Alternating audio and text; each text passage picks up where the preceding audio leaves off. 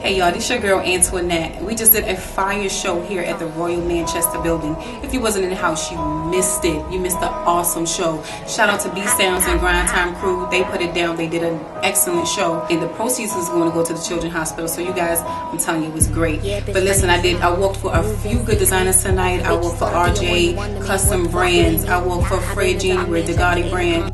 I'm telling you, you guys missed a good show. But listen, follow me on Instagram at A Panniel. You can catch me, a girl on fire. And also on Facebook, Antionette Panniel. Listen, for those who came out, thank you. Thank you for the calls. Thank you for the support. Catch us next year. 15 for a shoe. Broke bitches, stay on mute. Better talk to me nice. Better keep that shit cute.